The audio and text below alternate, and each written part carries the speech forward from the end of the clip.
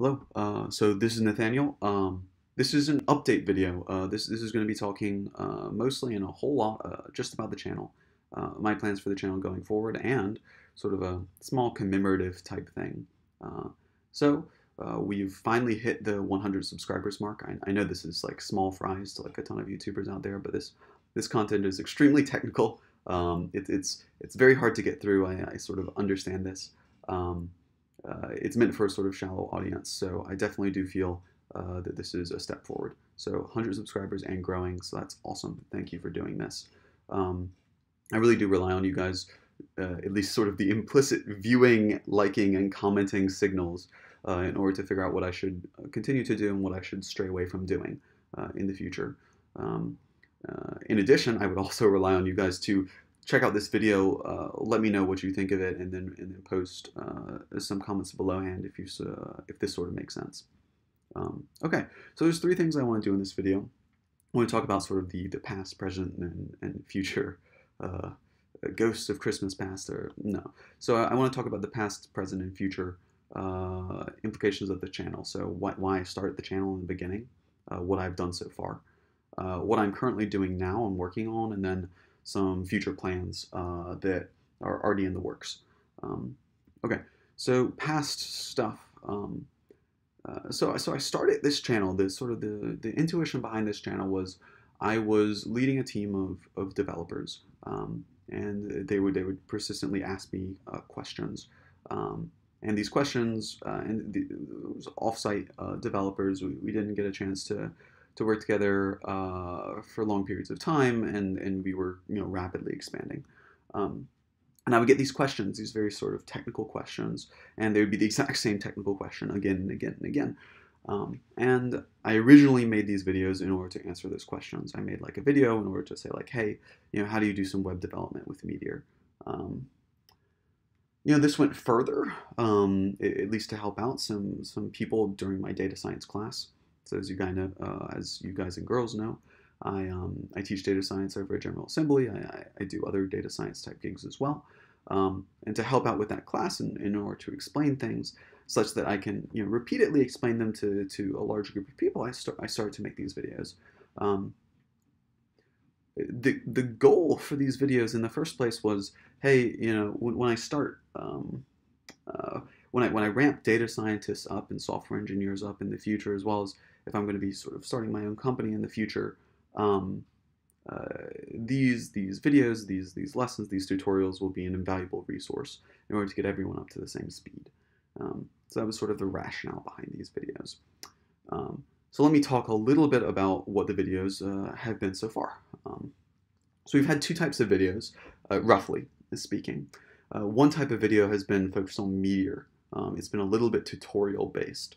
Um, and the other type of video uh, I'm going to talk about these in, in, just a second. These are, these are what I call catechism based. Uh, I'll talk a little bit about that.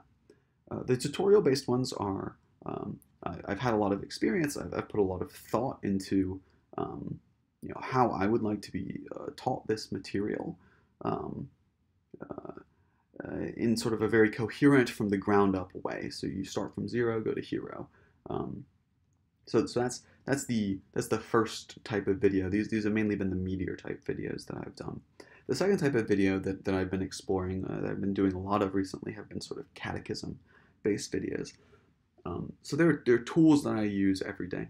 You know, these these tools are uh, Seaborn uh, for visualizations, uh, scikit-learn, and Keras uh, for doing the machine learning that I need to do, and then um, uh, Patsy uh, as well as um, stats models in, in, order to do some of the regression analysis. Um, I use these every day. Uh, I expect the people that I that I work with and that I hire to to uh, know these tools sort of inside and out. That being said, understanding these tools holistically is kind of hard. So I've made these tutorials that are principally based around these tools. Uh, they don't really stray too much outside them. They don't really um, uh, go in, in too much detail in terms of the you know, how they how they're made and the innards of them. Um, and so these tools, I, I sort of uh, I expect other people to use them, and this is this is why I've made these videos. And the videos to me are, are what I what I, I call them catechisms. Uh, they're they're sort of like little chunks of, of of discrete pieces of information. If you're interested in learning how to do and specifically a recursive feature elimination in scikit-learn. Um, you know, you'll you might YouTube search this or Google search this, and, and one of my videos might pop up, and this might help you. Um, and so I've, I've done this quite frequently in terms of trying to implement deep learning models and, and try to do specific types of hypothesis testings. I, have I've searched these things. The tutorials out there are kind of uh, sparse. Um, uh, and so and so that's kind of how I've made my sort of peace with this. Now, some pros and cons. Uh, the pros of this sort of approach means that um, you know you're going to know these tools really well. Um, right? There's there's specific videos, specific lectures on on each really aspect of these tools, and if you know when to use these tools, or you know what you're looking for, um, and and you don't know how to use this tool to do what you're looking for, it can be really excellent in order to do this. Uh, in addition, this space is completely no one's covered this space before. Um, this is not sort of an intro video. It's not an advanced video per se. It's not like research or cutting edge or anything. It's like a very much so intermediate practitioner's video. It's someone that knows what they're doing, um, finds these types of things useful from time to time. Um, I've made them a little bit series-esque, so you can watch them in sequence. Um, that being said, you can also just refer to them as, as you would a catechism or a dictionary. You just sort of look something up and, and go into the, oh, let's, let's check out blah, blah, blah. Um, so that's what I've done in the past. Um, okay, so so that's great, and, it, and it's and it's worked. Um, I, I, think I, have been using it uh, specifically in my data science course, and you guys have hopefully liked the videos. Please let me know uh, if, if I can if I can do better in these sorts of ways. I've explained the tools that are most important for me. Um, and so currently, I'm, I'm doing a couple of things. So that's the past. You know, currently I'm doing a couple of things. There's there's two things that I'm sort of currently right in the middle of.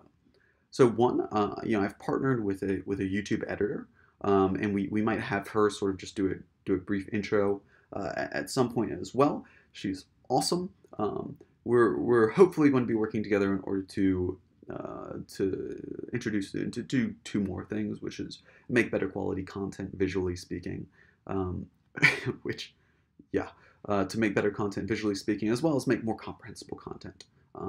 So to bring it down from sort of intermediate level into just sort of like really fundamental basic level. Um, uh, the second thing that I've been doing is I've been doing a couple more catechisms.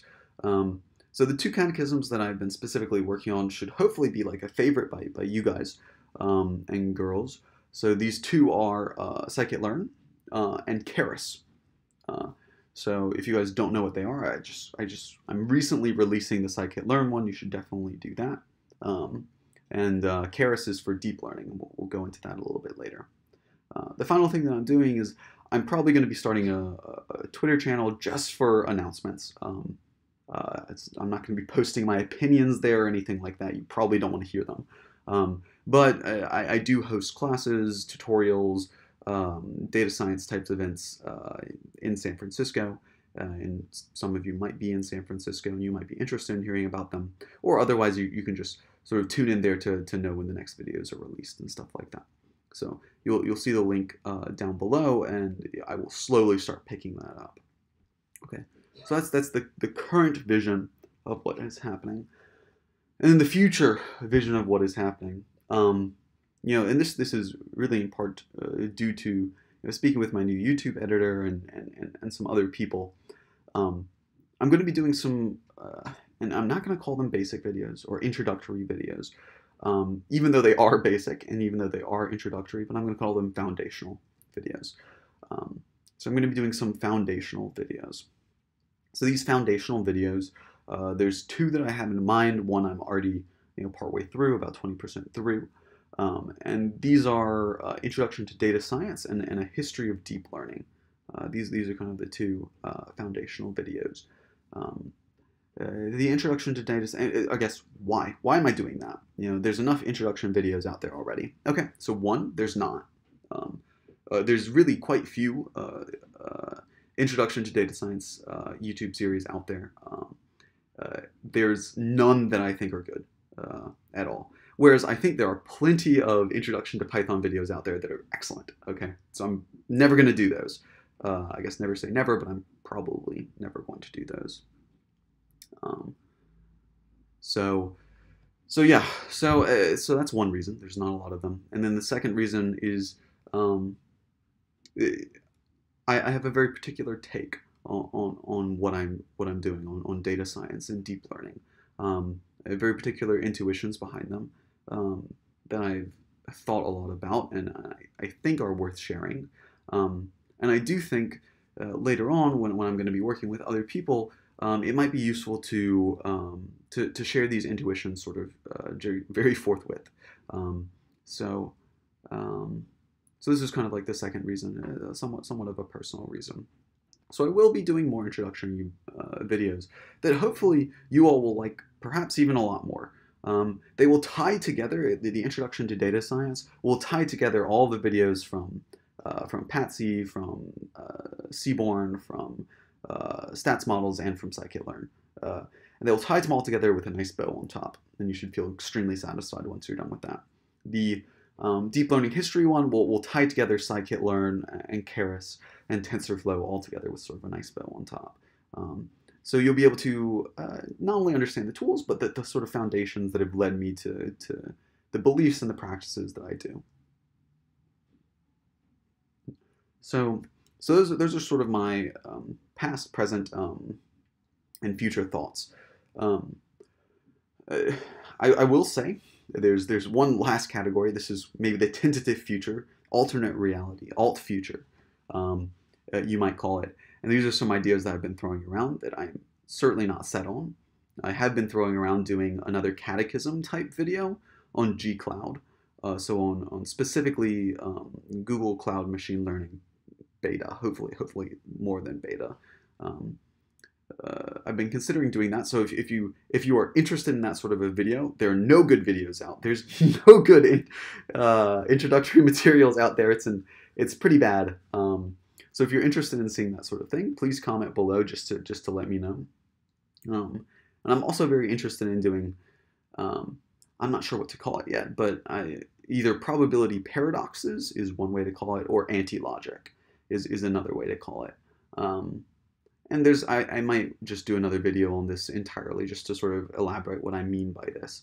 Um, uh, but sort of very simply, um, there there are uh, cognitive. So if you've read something like Kahneman's Thinking Fast and Thinking Slow, um, there are cognitive biases that, that everyone has um, that uh, you know can be you know quote unquote exploited. So you need to you need to learn what these biases are and sort of protect yourself, especially when you're listening to data. Um, as, as a data scientist, you need to be always on guard, you know, for for sort of flaws in in, in data. Um, so so I'm not sure whether, and, and, of course, there's plenty of probability paradoxes. Um, uh, so so like law of small numbers or um, uh, Simpson's paradox or um, you know the Monty Hall problem. You know, tons of those sorts of things. Um, I'm not sure whether I'm going to be doing that as sort of like alt future. We'll see. Um, okay. So again, I just want to thank you guys. If, if you got through all of this, I'm very surprised, but thank you. Um, we hit 100 subscribers. You know, uh, I'm not sure when the next one of these sort of updates will be, probably in around a year or something like that. Um, but please do let me know if you have any questions as to, you know, like, Nate, that's that's kind of like really interesting, but I, I have no idea what you said. Could you please elaborate more on that? Or like, oh, I like the probability paradoxes idea but here I think you should do it in XYZ way. Or like your uh, your previous videos were were so great, just keep doing them just like that. Um, so just let me know your thoughts on on uh, on what I said. What what appeals to you? What do you think I should do? Um, what do you think I should not do? Um, and once again, thank you so much uh, for the help and and the even if you're not intentionally trying to give me help, just looking to looking at the way that you're doing data science on the, on your views has been helpful. Um, so so thank you. Keep watching. Um, and this is the uh, first of hopefully many updates to come. Okay. Uh, always a pleasure.